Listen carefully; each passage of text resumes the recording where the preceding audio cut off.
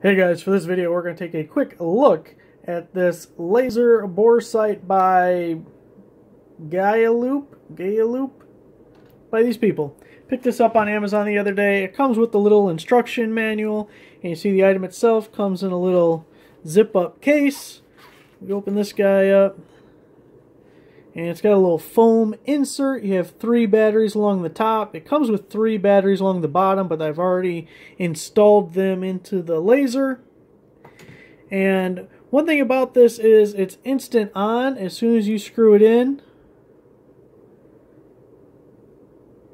So anytime the batteries are in it, the laser is on. There is no switch or anything.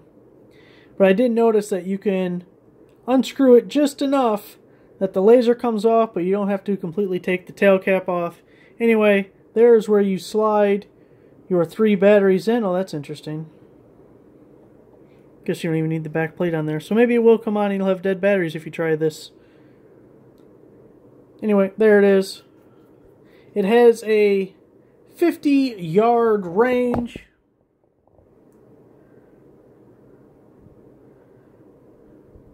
And hey, if you have a cat, hours of fun for the both of you.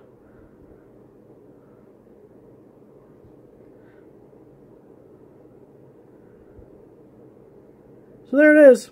Thanks for watching.